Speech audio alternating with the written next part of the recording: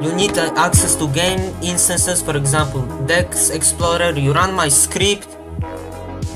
There's tutorial on top here everything you read this you'll know. You execute it bam it spawns here. You have everything wait. Whoops I don't want this. I will show you soon. These ones. Bam execute there it is. Studio go scroll down text there's the command bar enter. What is it? 171 well it's definitely here I just don't know where yeah uh, there it is. Next. 172